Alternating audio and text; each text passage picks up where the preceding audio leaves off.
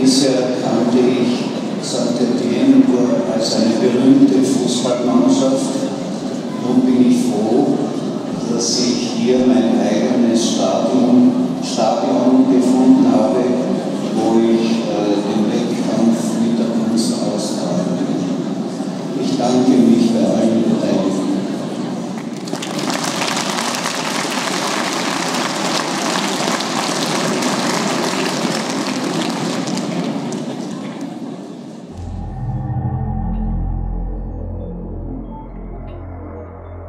Wir sind hier vor Ort im Musée d'Art Moderne in Saint-Étienne, wo soeben die Ausstellung Mitternachtsröte des berühmten österreichischen Künstlers Günter Bruß begonnen hat. Herr Bruß, herzlichen Dank, dass Sie sich die Zeit für uns nehmen, uns auch hier die weit über 297 sind es genau Werke etwas näher zu bringen. Äh, welche Beziehung haben Sie zu Frankreich und zu diesem Museum? Äh, zu Frankreich habe ich äh, besonders gute Beziehung das ist äh, fast schon Tradition. Ich hatte sehr, äh, sehr viele Ausstellungen in zahlreichen Städten in Privatgalerien, aber ich hatte große, eine große Retrospektive im Centre Pompidou in Paris und eine sehr wichtige Ausstellung über Francisco de Goya in Bordeaux, wo ich eine Arbeit über Goya gemacht habe, die im Zentrum dieser Ausstellung stand.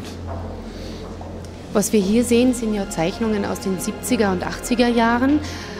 297 äh, Stück, also eine ganze Menge. Äh, können Sie dem Zuschauer etwas mitgeben von Ihrer Intention oder von Ihren Gedanken, die hinter diesen wunderschönen Bildern stecken? Ja, zunächst muss man dazu sagen, dass diese Ausstellung, äh, diese Zeichnungen natürlich, äh, so, sozusagen im Archiv lagen und in, in den Schubladen. Und zwar deshalb wurden sie äh, äh, konserviert und nie gezeigt, eben äh, weil ich jede Ausstellung äh, neu gestalten, gestaltet habe.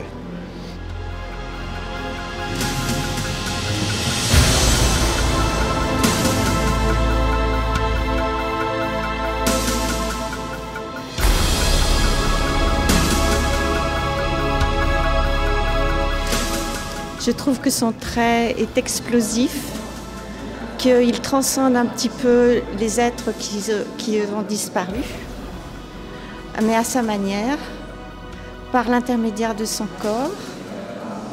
Et ça passe dans le trait, dans la forme, dans la couleur.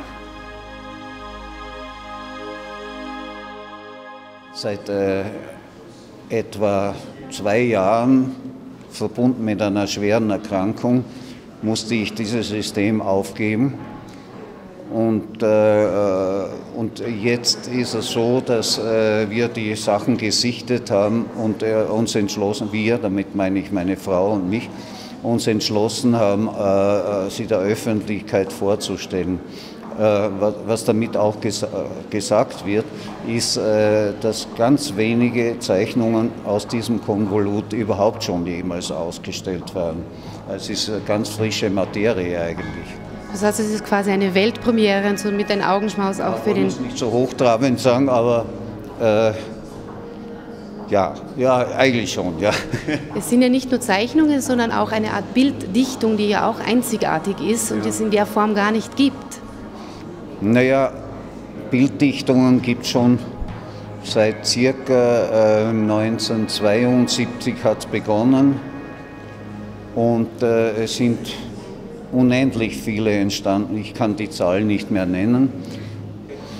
Äh, Bilddichtungen sind hier äh, klarerweise etwas spärlicher ausgestellt, weil eben äh, fremdsprachiges Publikum die Texte nicht lesen kann.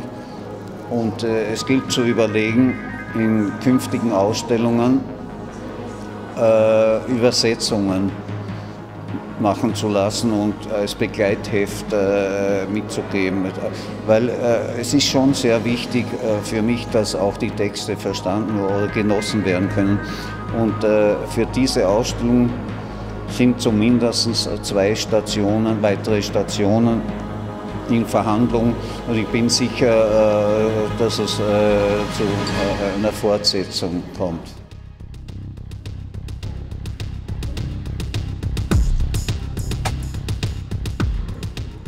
J'aime beaucoup ces dessins, je les trouve très beaux et curieusement très, euh, à la fois très forts, avec beaucoup de tension, mais aussi euh, très,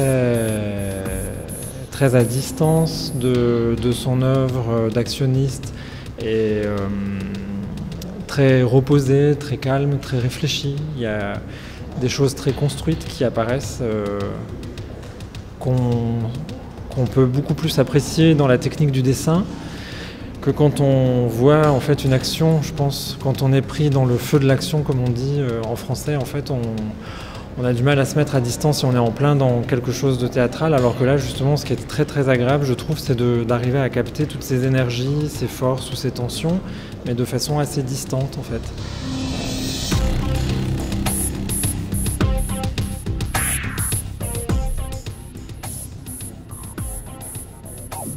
a little surprise. Uh, he speaks about um, about Mozart. He speaks about um, Molière. It's a point of view. It's a new point of view, I think. Euh, surpris positivement, oui, j'aime beaucoup le, le, doigté, le travail de dessin. Enfin, j'aime beaucoup son travail de pastel et de reprise en fait au pastel.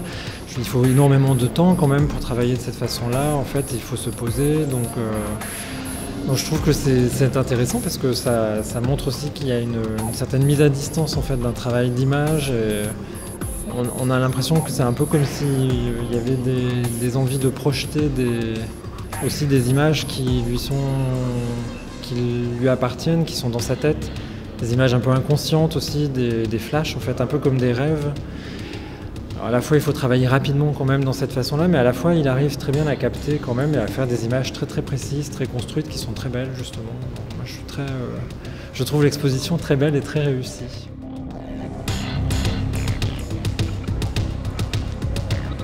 Welche Erwartungen haben Sie an diese Ausstellung im Speziellen hier in Saint-Étienne? Keine.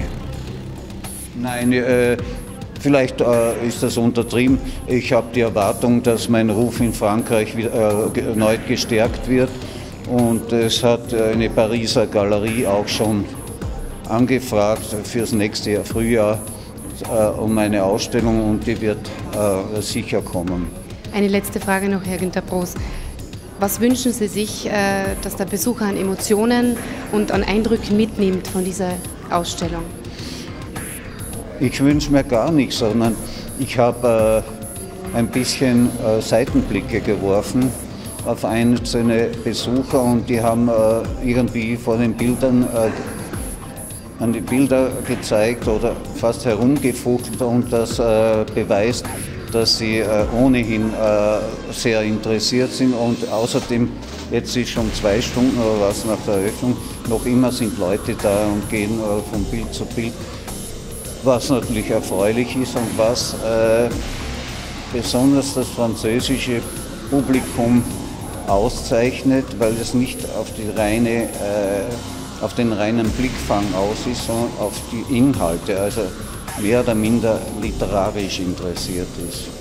Das heißt, Sie sind bisher durchaus zufrieden mit diesem ersten Tag der Eröffnung? Ja. Vielen Dank für dieses nette Gespräch und viel Erfolg noch weiter. Danke.